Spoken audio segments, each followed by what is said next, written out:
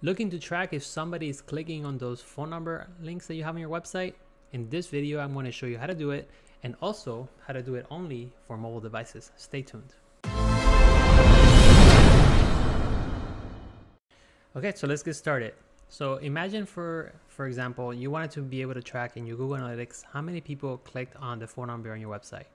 Now you wanted to only track the contact information phone number, not who, not how many people hit the press, hit up your press contacts. So to do that, the first thing we want to do is just make sure we have everything set up properly.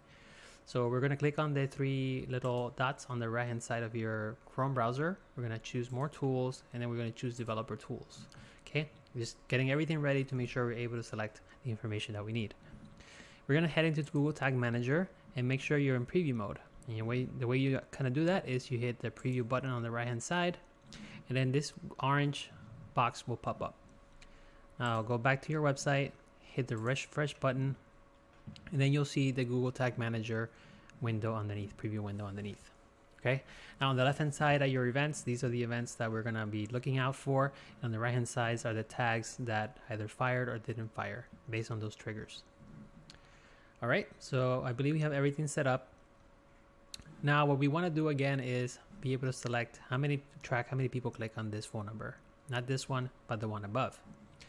So you're want to make sure that your variables are set up for tracking link clicks. So the way you do that is you click on variables, you click on configure, and then scroll down to where it says clicks and make sure that these elements are all turned on. Now, as you get more advanced, you won't need to have all of these checked on. For the purposes of this video, we're just to check them all on. But we're really to be fo focusing on the click URL. Again, we're to be tracking how many people actually click on this button here. So let's exit out of this and then go into our tags. Okay, so we're gonna, again, we're gonna be setting up a Google Analytics uh, tracking code. So we're gonna click on new. Uh, one more thing actually before I go into that, make sure you have your Google Analytics set up. Uh, there's a video in my channel that kind of explains how to do that in Google Tag Manager, so you can look at that. Um, but real quick, I can just show you when we go through the process. So let's click on new. We're to call this a Google Analytics and we're to call it a link click or this is called it clicks. And let's call this a phone number. Uh, phone general. Let's just call it phone number then general. Okay, so this is to be a Google Analytics click uh, tracking and it's going to be for a phone number and the phone number is going to be the general. It's always a good idea to have a consistent uh, nomenclature uh, running in your in your Google Tags Manager account. So then you're going to click on the tag configuration to set it up. All right, we're going to choose Google Analytics and we're going to choose Universal Analytics. And then we're going to be tracking an event, right? We're going to be tracking whether somebody clicked on something. So again, this is uh, in my videos I always mention the way that you fill this out is totally up to you. The way that I personally like to do it is for category, I like to call it contact. An action is going to be a link click. And the label is going to be phone number. And we're going to call it general phone number. Okay. Again, the value here could be the phone number itself if you chose, if you so choose. Now for the Google Analytics settings, we're going to use the Universal Analytics tag that we set up, the variable that we set up. So we're going to choose this one. But if you wanted to, if you didn't have this set up yet, you can click on new variable. And then for the tracking ID you will go into your analytics account. You will click on admin. You would click on property settings. And you would insert this uh, your Google tracking uh, Google Analytics tracking code here all right that's all you really need to do. So let's exit out of this. Let's click back on home. Perfect. And then let's go to Tag Manager and exit out of this and let's select the one that we already created. So everybody, if I mean, if you're at the point where you're tracking links, you should have all of that created already. All right, so now let's set up a trigger. So the way that it works in Google Tag Manager is that an event triggers a tag or a piece of code for it to run. All right, so you always have to think about it uh, like that in, in your mind. So whether it's a link click or or whether it's uh, somebody um, you know, a phone number was changed or anything, anything that can happen on your website can trigger a tag. So let's go and go ahead and click on triggering. And then now we're going to create a trigger. So we're going to click on the right hand side, click on the little plus button and they want to create a trigger. So we're going to do this. It's going to be a link click and it's going to be a phone number and it's going to be the general phone number from the website. So let's click on trigger configuration. Now you'll see the option here for clicks and you'll be able to choose, uh, choose either all elements or just links. So all elements really can track a tr uh, click trigger anywhere on the website, whether it's a link or not. A link trigger will only actually trigger when you're actually clicking on an actual link. So that would be like navigation items, a button, a image that has a link associated with it, email link, phone number link, any of those links. So we're gonna wanna make sure we choose just links. Now, when you get to this particular screen and you just start reading it, you realize that this says this trigger fires on all clicks or some clicks. Obviously, we don't want to to fire the trigger. We don't want to say that you know whenever somebody clicks on the home button that that's that somebody actually clicked on the phone number. That's not doesn't make any sense. So you're going to make sure that you select some link clicks. Okay. Once you do that, you'll be prompted with this next option. This says fire this trigger when an event occurs and all of these conditions are true. So let's open that up and see what the options available to us. You have click classes, click elements, click ID, click target, text, URL, custom screen size, Google Analytics settings, and so on and so forth. Now, because we're just more concerned about the click itself, we are going to be concentrating on these options. Now, the way that I like to track phone number clicks is by the click URL. And let me explain to you why. Let's go back to the website and select the element selector within the Google Chrome um, developer tool. And then let's click on the phone number. If you look here, you'll notice that this is a very unique uh, link. Now, if you're if you just want to track how many people clicked on the on that phone number overall on the website, you just take the the the address of the link, which will be TEL colon 305 and use that as the link. And then that would track anytime anybody clicks on that phone number specifically. Now you can be more detailed. You can give this link ID, you can give this link an ID and say contact page ID and put the phone number. And then in that instance, and you wanted to track how many people clicked only on that link, you would select the click ID.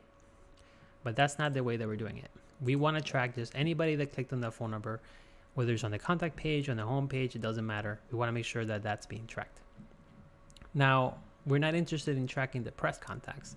So if you were to go here into your Google Tag Manager and select a click URL contains TEL, right? Because you're looking at the link, this would track not only the 305 number, but it will also track the 888 number. And if you look at the link specifically for 888, you'll also notice that it also starts with TEL. So both of these were triggered. Okay, but we want to be specific. So we're going to choose that specific phone number and then we're going to input it in our trigger. So now let's recap what we did. This trigger fires on some clicks, some link clicks, when the click URL contains that telephone number. But we want to be more specific, so we're going to choose equals. So on the click URL equals that phone number. Let's hit save and let's make sure that this is actually working. Hit save one more time. And now both our tag and our trigger has been set up. Hit refresh, make sure that everything is new. Go back to the home page, hit the refresh button, and then you'll know that you're looking at the new one if you see now tags not fired includes clicks, phone number, general. Now, why did the tag not fire? You haven't clicked on anything yet, obviously. So before we click on this phone number, uh, let's click on the phone number underneath. Okay. And on the left hand side, you see that the event link click happened. So let's click on that to narrow down on that specific action. You'll notice that none of the tags fire, in particular that this one still didn't fire, which is the desired outcome, right? We don't want that to happen. So we go, when we click on that trigger itself, you'll notice that it says click URL equals the phone number did not occur. So that's a good sign. Now let's click on the other phone number.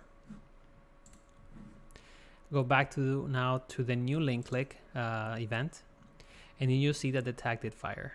And when you click on that on that trigger, you'll realize that now it has a little green checkbox saying that everything is good. So now let's go to analytics just to confirm that things are being tracked. We're going to click on the home button, real time events, right? We're tracking events. And then you'll notice here that the trigger did occur. It says contact category. It was a link click.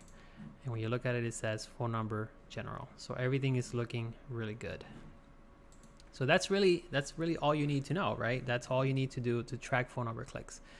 But let's take it a little bit further, okay? So let's say you only wanted to track because when you're on a desktop, right, you're not really able to track whether somebody clicked on um, if you clicked on the phone number here, I'll show you a perfect example, right? Let's say we clicked on this, it says open, pick up an app.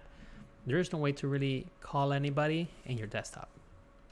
So you, you may want to trigger only, you may want to trigger this tag only when somebody's on a mobile phone, right? So how does that work?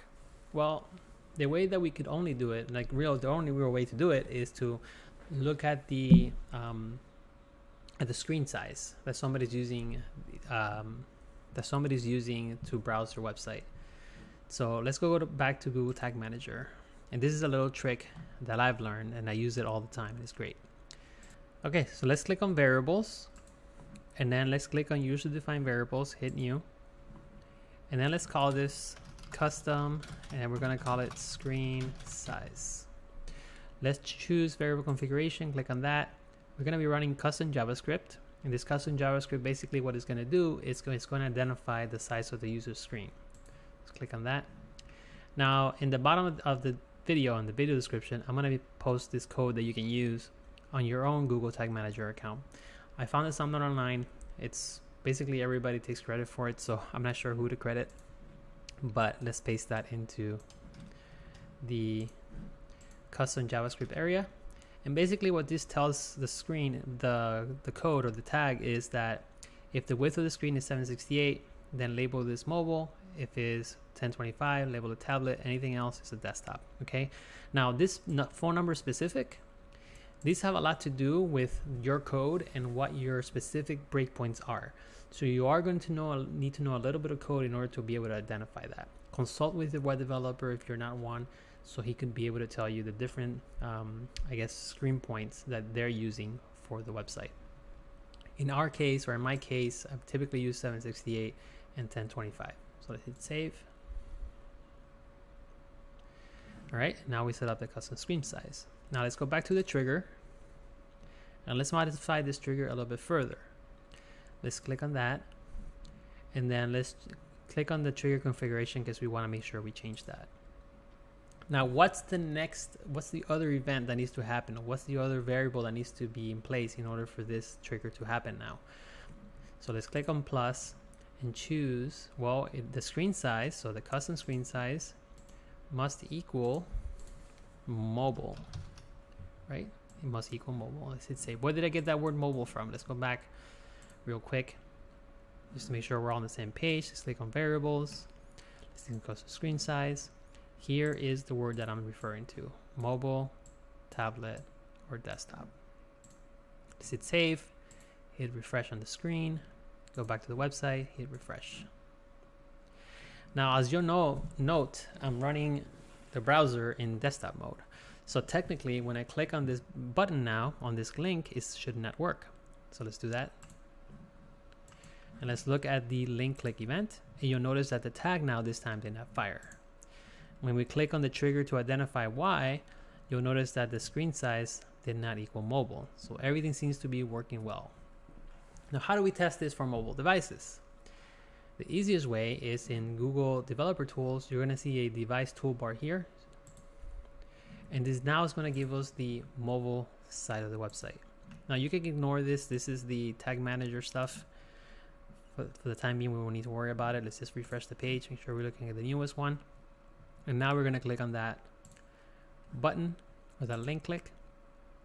Okay, it fired. We don't know what happened. Let's go back to our desktop mode just so we can get able to debug things a little bit better. And you'll notice that now the tag did fire. You'll notice here now that the custom screen size does equal mobile. So perfect. That's exactly what we want. Let's go back to analytics to confirm. And here it is. Finally, you're want to hit the submit button to save all the changes. Hit publish click continue and you're done I hope that was very helpful. If you like the video, make sure you like, comment, subscribe, hit the notification bell in order to support the channel. And uh, I would love to bring you more in-depth tutorials such as this. Thank you so much.